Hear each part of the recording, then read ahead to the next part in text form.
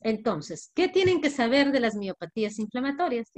Las miopatías inflamatorias, su mismo nombre dice, ¿no? O sea, miopatías, mio músculo. O sea, el músculo está afectado por un proceso inflamatorio y acá también por un proceso autoinmune. Va a haber una reacción antígeno-anticuerpo. Ya saben que en reumatología siempre hay reacción antígeno-anticuerpo que le gusta atacar por confusión diferentes estructuras. En artritis reumatoide le gusta atacar todo lo que son articulaciones. En lupus da manifestaciones más sistémicas. En esclerodermia, que ya vamos a ver igual probablemente con, el paso de las clases, van a ver que en esclerodermia lo que hace es un compromiso de piel, ataca la piel, fibrosa la piel. Y en miopatías le gusta el músculo, pues, ¿no? Reacción antígeno-anticuerpo que va a producir una inflamación, un daño a nivel del músculo. Entonces, estas miopatías inflamatorias son un grupo de heterogéneo de enfermedades sistémicas autoinmunes, autoinmunes porque va a haber anticuerpos de evolución crónica caracterizadas por inflamación y lo característico es debilidad muscular. Lo que sí les voy a decir acá es que lo que les, como siempre les repito a mi grupo, lo que les enseño es lo típico, lo que tienen que saber, lo común, ¿ya? Porque hay cosas bien atípicas. A veces tenemos miopatías que no tienen debilidad muscular, pero eso ya es otra cosa y eso ya es más de especialista, ¿ya? Entonces, pero en general tienen debilidad muscular.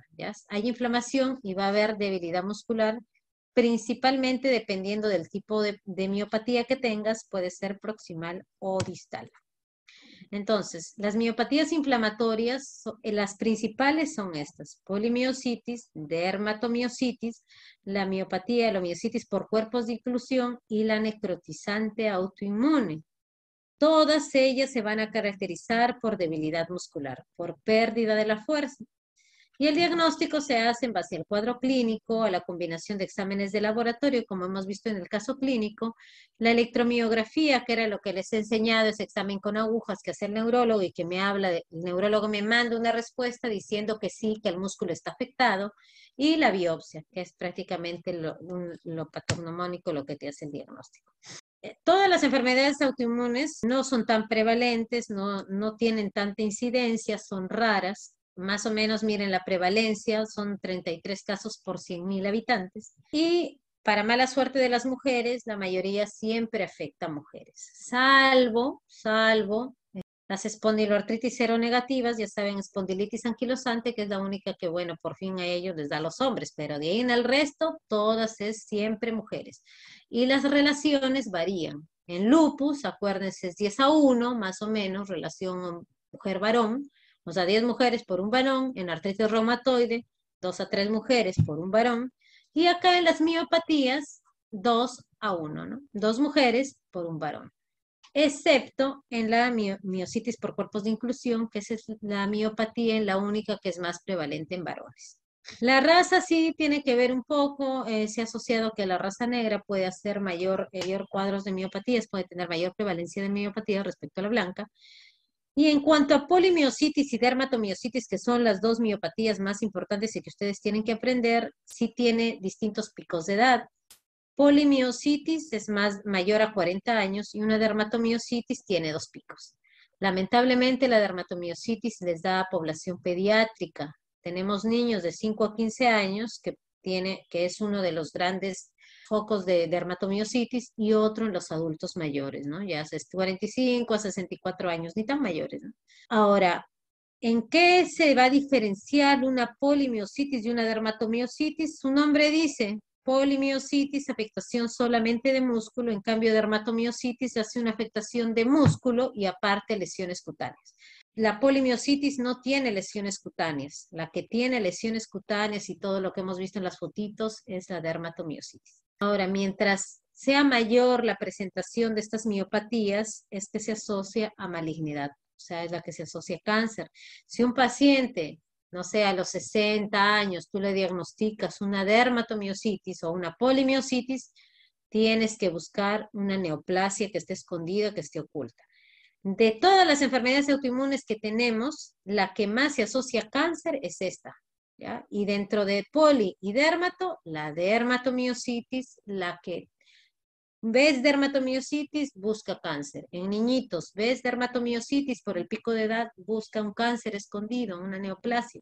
Y bueno, la sobrevida felizmente que ha cambiado con los tratamientos. En cuanto a la etopatogenia, siempre factores genéticos. Acuérdense que tenemos tienes genes, los famosos HLA, que siempre les digo que no tienen que grabarlo. No es importante que los memoricen, pero tienen que saber que hay un componente genético. No a cualquiera le da una enfermedad autoinmune. Tiene que tener genes para eso. Ahora, no se hereda. No es que si yo tengo una dermatomiositis o una polimiositis, mi hijo va a tener. No, son genes que pasan y no solamente, como no solamente es el factor genético, sino tiene que haber otros factores que confluyan al mismo tiempo, no todos desarrollan la enfermedad. ¿Ya? Pero sí hay varios genes involucrados, tanto en lupus, en artritis, tienen genes específicos, tiene que haber un factor ambiental que por ahí estimule dentro de las miopatías inflamatorias, las infecciones, igual que en lupus, ¿no? Igual que en lupus que habíamos visto infecciones.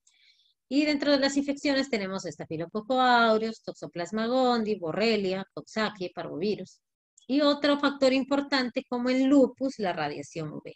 Se ha visto, hay estadísticas en las cuales se ve que los países que tienen mayor radiación UV, o sea, a mayor radiación UV, tienen cortes más grandes de pacientes con miopatías inflamatorias.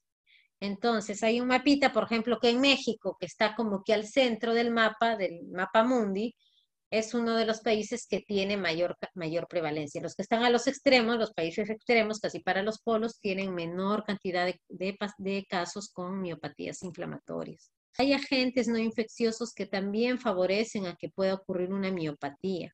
En forma, sé, un poco graciosa o bueno, paradójica, los corticoides, que es el tratamiento que damos para las miopatías inflamatorias, pueden producir una miopatía, o sea, una debilidad, una pérdida de fuerza muscular por corticoides. ¿Cómo sabemos que es por el corticoide? Lamentablemente no hay forma de biopsiar, no hay forma. Lo único que se hace cuando atribuimos que algo es producido por un fármaco es retirar el fármaco. Si después de quitar el corticoide tu paciente mejora, es que fue por el corticoide.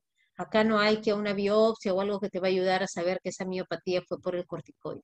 Se ha visto que estatinas se asocian a, miopatías, la cloroquina también, y acá vacunas, ¿no? Lo que mencionábamos en el caso, por ejemplo, la vacuna del tétano, de, hepatitis B, difteria, en general también se ha asociado a, miopatías. Los agentes, como por ejemplo este, los implantes de mama, de silicona también pueden producir miopatía. Yo tenía una paciente que se puso un implante de glúteos y empezó a desarrollar una miopatía asociada a, los implantes. Eh, la enfermedad de injerto contra huésped, la exposición al sílice puede producir también miopatías. Entonces, este de acá es un gráfico más o menos del mecanismo, cómo ocurre. Hemos dicho que tienen que confluir para que ocurra la enfermedad autoinmune, tienen que estar varios factores al mismo tiempo. No es como que solo uno, no es que porque yo tengo el gen voy a hacer la enfermedad. No, tienen que estar al mismo tiempo o por ahí así concomitantemente todos los factores susceptibles, ¿no? Entonces, tenemos los genes, ¿no? Los que hemos visto, los famosos HLA, que hay diferentes tipos de HLA, tenemos DR2, DR4, pero en general HLA. Factores ambientales, imagínense, puede ser la radiación UV, podría ser un agente infeccioso, como por ejemplo vemos acá. Y lo que hacen es, todos confluyen y generan esta reacción antígeno-anticuerpo que va a venir a través del sistema inmune, a los nódulos linfáticos, y viaja, ¿no? Aquí están mis anticuerpos, viaja por la circulación y tiene una predisposición por irse al músculo. ¿Por qué se van? No se sabe, no hay algo como que uno diga, ay, sí, este, a veces me preguntan, ¿no? ¿Y por qué coge justo esa articulación? No lo sabemos. Los datos, muchas de las enfermedades autoinmunes que tenemos son epidemiológicos. Sabemos, por ejemplo, que la artritis afecta el segundo, la segunda metacarpofalángica porque así se ha estudiado. Pero ¿por qué le gusta justo esa articulación? No se sabe. Ahora, Acá estas reacciones antígeno-anticuerpos van al músculo y esto es lo que yo les hablaba. Miren la fibra muscular, tenemos la estos son los todas las citoquinas porque hay una cascada inflamatoria que ocurre, tenemos las células dendríticas, la, tenemos las células TSD8, TSD4, la célula este, B, los macrófagos, los anticuerpos y citoquinas. Cuando estas, este, esta reacción antígeno-anticuerpo toda la cascada inflamatoria se coloca alrededor de la fibra muscular, entonces se hace la biopsia y tú diagnosticas una polimiositis. Pero cuando se localizan alrededor del vaso sanguíneo, que lo vamos a ver más adelante, perivascular, perifascicular, perinicial, tú estás hablando de una dermatomiositis. Es el patrón donde prácticamente le gusta colocarse ¿no? a, estas, a estas reacciones. Acá tenemos una imagen mucho más esquemática de la polimiositis y la dermatomiositis. Esto de acá, como habíamos dicho, si se dan cuenta, estas son las fibras musculares, todo esto de aquí es el fascículo, ¿no? La fibra muscular. En polimiositis, ¿qué va a ocurrir? Por estas mismas reacciones que hemos dicho, antígeno-anticuerpo, voy a tener fibras que se han necrosado, ¿no? Estas de acá, por ejemplo, fibras necrosadas y va a haber un predominio de los linfocitos TCD8. Miren acá, tenemos TCD4, TCD8, pero está dentro de la misma fibra muscular. Se colocan estos linfocitos TCD8 en la misma fibra muscular. Entonces, voy a encontrar en una biopsia un infiltrado inflamatorio compuesto principalmente por linfocitos TCD8, por macrófagos, pero de distribución dentro del fascículo o endomicial dentro del mismo fascículo o endomicial. A diferencia de la dermatomiositis. Miren la dermatomiositis. De igual manera, tenemos el fascículo, tenemos las fibras musculares, hay fibras necróticas, pero acá lo que prima son los linfocitos TCD4. ¿Ya? ¿Qué se van a colocar? Voy a tener un infiltrado mononuclear de linfocitos TCD4 de distribución perivascular alrededor del vaso, perifascicular y perimicial. ¿ya? Esos son los términos, por eso en la biopsia, como habían visto en el caso clínico que les he puesto y en la biopsia del hospital Oaiza, ahí te, te, describe tal cual, ¿no? Es un infiltrado inflamatorio, muchas veces que cuando ya hacen más estudios ven si es CD4 o CD8, pero sí me habla de cómo es el patrón que está alrededor del vaso sanguíneo perivascular, está perifascicular o perivicial de las fibras atróficas. Y esto de acá me está diciendo que es una biopsia probablemente de una dermatomiositis. Y por último, aunque esta probablemente no es tan importante que lo aprendan ustedes, es raro, ya, o sea, no es tan... Pero igual les quiero mencionar que tenemos la miositis por cuerpos de inclusión. Esta miositis por cuerpos de inclusión es la que hemos dicho varones, es una, una miopatía un poco atípica, es asimétrica, que ya vamos a ver, la poli y la dermatos son simétricas. Y en la biopsia lo que van a ver estas famosas vacuolas autofágicas y un precursor beta-amiloide que va a estar dentro de la fibra, que eso es característico. Entonces, vacuolas eh, autofágicas y el precursor beta-amiloide, que es típico de, las, de la miositis por cuerpos de inclusión.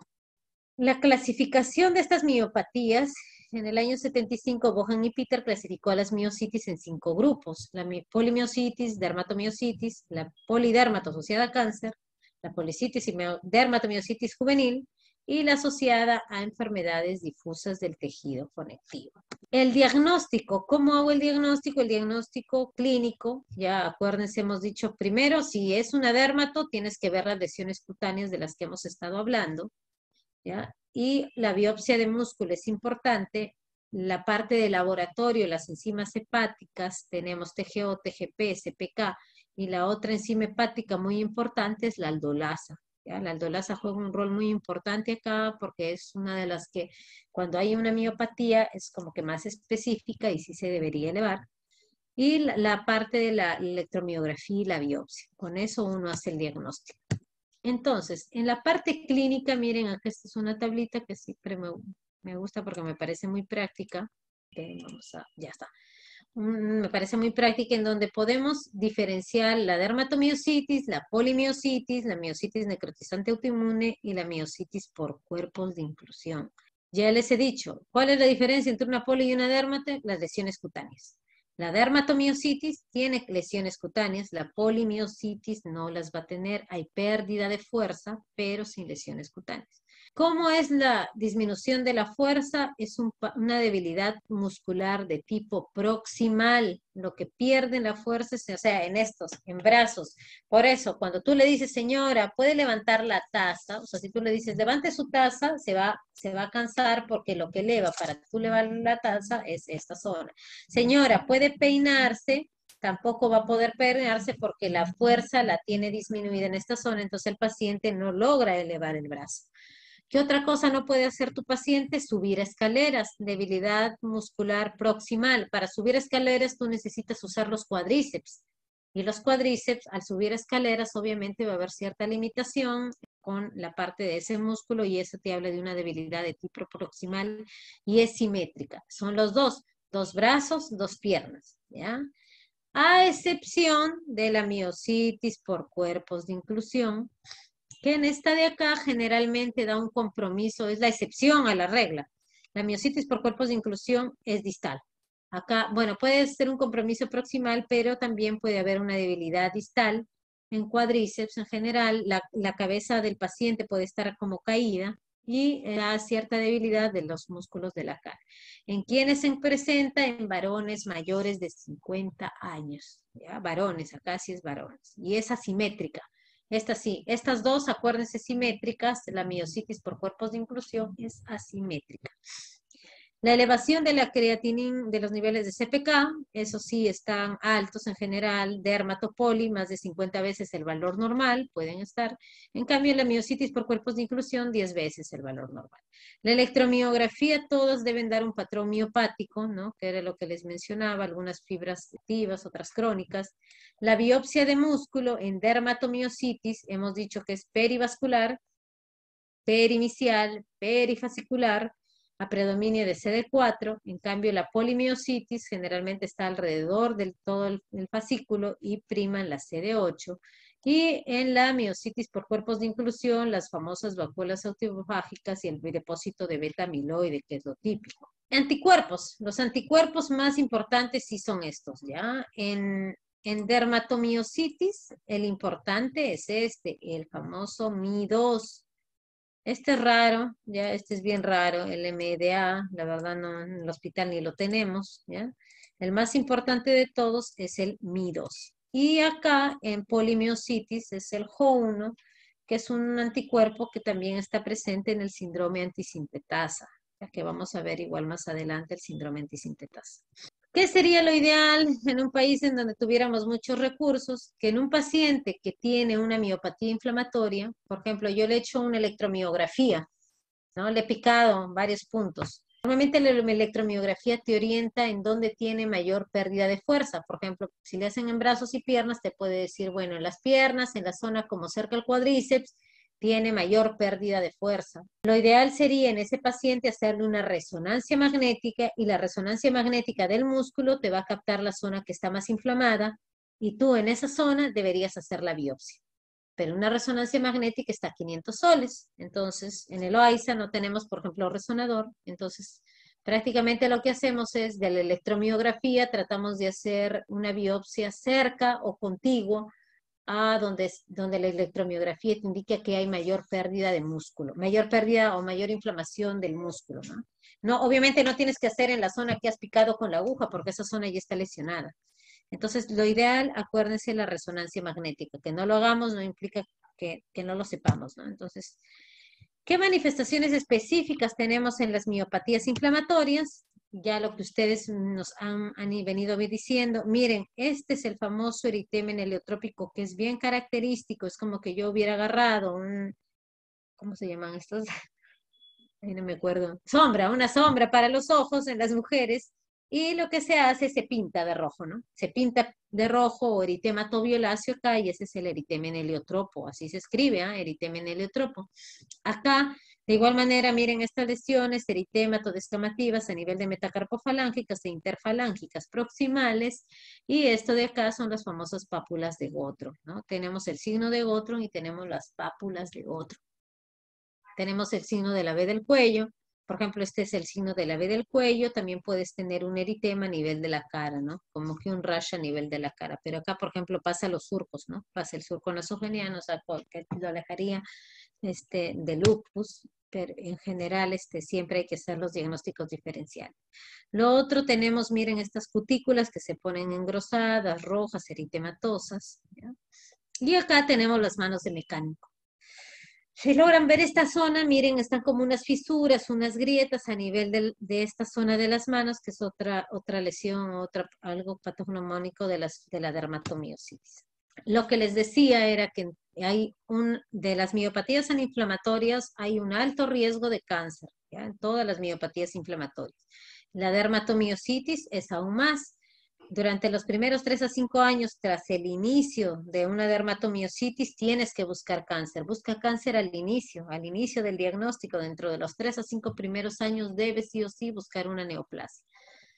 De 100 pacientes con dermatomiositis, 32 pueden tener, o sea, un tercio de ellos puede tener una neoplasia ahí que está oculta. ¿De qué órganos o qué, qué tipo de neoplasias? Los adenocarcinomas de ovario, de mama, de pulmón, de colon, el melanoma, o un linfoma no Hodgkin o eh, una neoplasia nasofaringe. Entonces sí es importante hacer un estudio anual durante los primeros tres años, ¿ya?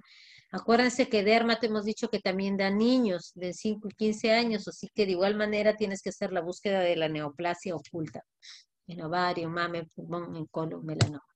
La miocitis por cuerpos de inclusión, que eran los que les estaba conversando, es la excepción a la regla, eh, es en pacientes varones mayores de 50 años, es asimétrica, eh, y lo otro que da tanto una debilidad de la, fuerza, de la fuerza proximal, así como también de distal en quienes yo empiezo a sospechar a veces esto en pacientes que no me responden a la terapia estándar. Cuando una, una polimiositis de repente no está respondiendo a un tratamiento estándar, tengo que pensar en una miositis por cuerpos de inclusión. El síndrome antisintetasa, esto de acá también es bien importante que lo sepan, lo van a escuchar.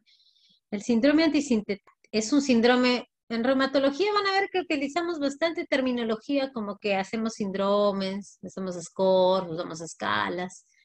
Este síndrome lo que han hecho es a veces un poco ponerle nombre a una constelación de varios signos y síntomas y decir ya esto de acá lo voy a llamar el síndrome antisintetasa porque tiene un, también un anticuerpo que se llama anticuerpo antisintetasa.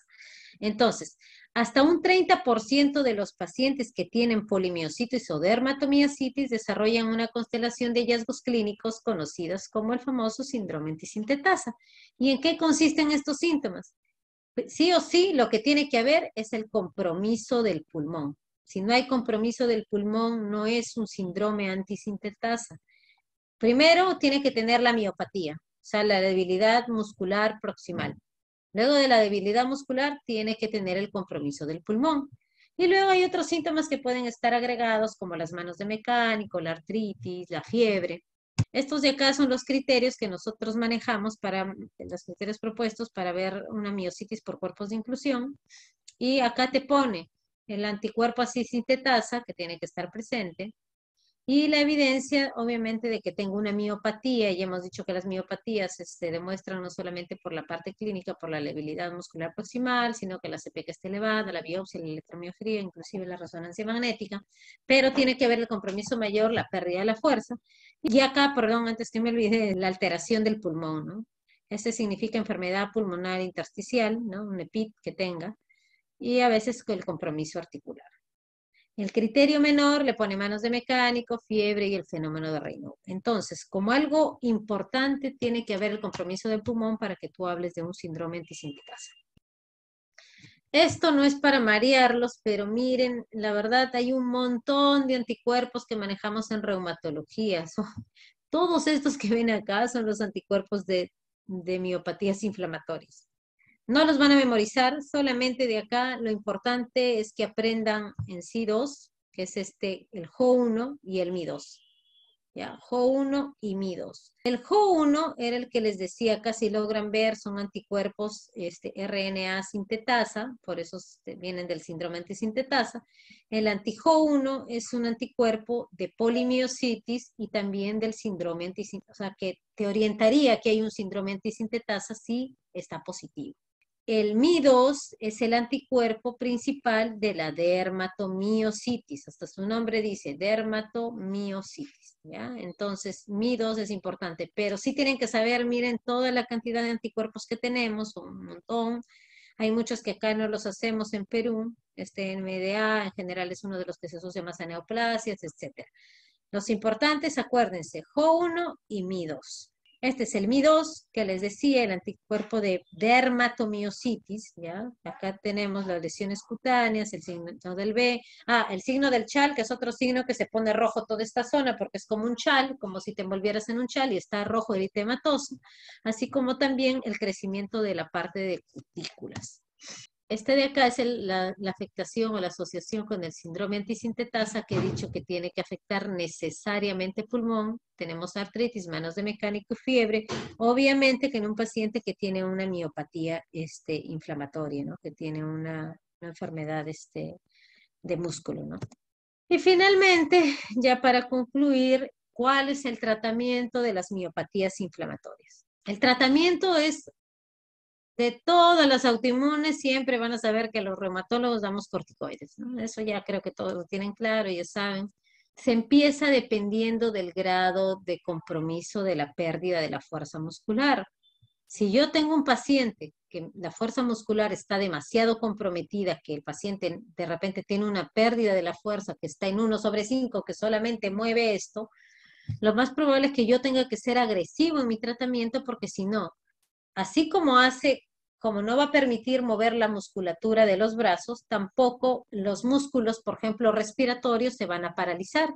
Y el paciente puede morir, tiene que ir a ventilador mecánico para que los músculos respiratorios sigan funcionando. Entonces, sí es grave cuando ya tengo una pérdida de la fuerza de 1 sobre 5, porque ya ese paciente probablemente es altamente probable que eh, deje de respirar. O la otra es que la lengua, por ejemplo, también pierde el tono y se va para atrás, le tenemos que poner un tubo de mayo para que el paciente siga respirando, porque si no, es, obviamente puede cerrar la glotis y el paciente también se muere. El tratamiento, entonces ahí lo que se opta, si tengo que ser agresivo, se ponen pulsos de metilprednisolona, que son tres días seguidos. Por ejemplo, ahora que estamos jueves, le ponemos jueves, viernes y sábado tres pulsos de metil de un gramo y luego continuamos con prednisona a un miligramo por kilo, si es severo, ¿no? O sea que si yo peso 60, a mi paciente le voy a poner 60 miligramos de prednisona. Si yo peso 50, le pondría 50 miligramos de prednisona al paciente. El corticoide tienen que entender que funciona como si fuera, ah, siempre pongo el ejemplo de que yo estoy en un incendio. Si yo estoy en un incendio, necesito inmediatamente agua. El corticoide es eso, es actúa inmediato, actúa rápido, actúa en ese momento. Las dosis van a depender, imagínense, es como que tengo un incendio y yo, este, no sé, estoy usando una jarrita, sería como dosis bajas de corticoide, ya uso un balde, dosis medias, y ya los pulsos de metilprednisolona es como que yo tuviera una manguera que estoy prácticamente tratando de apagar el incendio. Entonces, uno da proporcional ¿no? a la afectación que está haciendo el paciente. Los tratamientos son individualizados. Lo malo de los corticoides es que tienen muchos eventos adversos y lo ideal es que yo lo dé por cortos tiempos, o sea, que no tenga dosis tan altas por largo tiempo porque el corticoide me va a producir hipertensión, diabetes, necrosis vascular de las cabezas femorales, osteoporosis, me hace Cushing, etcétera, por decir uno de las tantas complicaciones que tiene el corticoide. Entonces, lo ideal es usar el menor tiempo posible y en la menor cantidad posible para controlar la enfermedad. Por eso luego de que uno da corticoides, inmediatamente se debe dar los famosos que llaman los ahorradores de corticoide, lo llaman en forma grosera, lo conocemos como los DIMARS, los fármacos, fármacos modificadores de la enfermedad, o DIMARS en inglés. Y para las miopatías inflamatorias, el importante de todos es metrotexate de cabeza, metrotexate lo que hace es contrarrestar el efecto eh, de, estos, de estas enfermedades autoinmunes. Y como segunda opción tenemos a satioprina, que es este otro fármaco, son inmunosupresores. Ellos sí van a producir que bajen las defensas un poco, pero no actúan inmediatamente. Si yo empiezo el metrotexate o empiezo la satioprina, mi respuesta probablemente la voy a ver a dos meses por eso, mientras tanto, estoy dando el corticoide para ir contrarrestando todo el proceso autoinmune y toda la cascada inflamatoria. Cuando el paciente no responde a metrotexate o a satioprina, recién opto por otras terapias como micofenolato mofetilo, que son otros otros inmunosupresores, ciclosporina, tacrolimus, ciclofosfamida, rituximab o inclusive estos son ya terapia biológica o los famosos anti-TNF. Y lamentablemente la miocitis por cuerpos de inclusión, si en verdad tuviera esa enfermedad, el tratamiento, así como doy corticoides, eh, acá se da metrotexate, pero si tu paciente ya no responde, la verdad, estos medicamentos no ayudan mucho y prácticamente lo que se hace es tratar de buscar enrolar algún paciente en un ensayo clínico en el cual se esté desarrollando una nueva droga para contrarrestar estos tipos de miocitis por cuerpos de inclusión. Si tengo buena respuesta, generalmente los tratamientos de estas enfermedades yo no puedo quitar rápidamente los fármacos, por lo menos tengo que tenerlos un año. El paciente tiene que recibir tratamiento por un año entero como mínimo. ¿Sí? ¿Sí? ¿Dudas, preguntas, interrogantes? Pero siempre en las lecturas había visto que decía que la poliomielitis era un diagnóstico raro y de exclusión. Ah, en general, todo, lo que pasa es que todas, no en general la, la o la dermato, en general todas las enfermedades autoinmunes, las que nosotros vemos, son enfermedades de exclusión. Eh, son, es una enfermedad que yo tengo que haber diagnosticado que no sea una infección, tengo que haber diagnosticado que no sea una neoplasia, eh, para poder en verdad decir que es una enfermedad autoinmune. Por ejemplo, imagínense, te pongo el ejemplo que es más fácil porque creo que artritis reumatoide es una de las más fáciles autoinmunes que tenemos. Si yo tengo una paciente que me viene por una poliartritis de manos, ¿ya? Poliartritis de manos, yo lo primero que tengo que empezar a descartar es, uno, que no sea una infección. A veces, por ejemplo, una infección por brucela, por brucelosis, me puede dar artritis. Eh, que no sea un VIH, el VIH me puede dar una poliartritis, eh, la tuberculosis me puede dar poliartritis, un linfoma, una leucemia, un mieloma me puede dar una poliartritis. Eh, ¿Qué otra cosa sería? Hasta las endocarditis. Si tengo una endocarditis, algo de compromiso cardíaco, me puede dar una poliartritis. Entonces, todas las enfermedades autoinmunes en general, lo ideal es que yo primero empiece descartando las causas como por ejemplo infecciones, neoplasias, compromiso de algún otro órgano cardíaco. Y recién cuando ya se ha hecho el estudio completo, ahí tú dices, ya, sí, hay que pensar que esto de acá puede ser una enfermedad autoinmune. Lo mismo ocurre con las miopatías. Todas las miopatías inflamatorias pasa eso. Tienes tú que diagnosticar que no sea de repente una, una neoplasia que esté haciendo eso, esa pérdida de fuerza, que no sea una infección, que sobre todo acá muchas neoplasias se confunden, ¿ya? Y hay otros diagnósticos diferenciales, por ejemplo, que no sea una tendinitis manguito rotador. En general, todas las autoinmunes no es que sea la primera opción que tú piensas. ¿Por qué? Por las prevalencias y las incidencias. Son raras, no es común. Pero si tú has hecho el estudio correcto y ves que no, no, es, ninguna, no, es no es ninguna de las otras enfermedades, tú tienes que pensar sí o sí en una enfermedad autoinmune.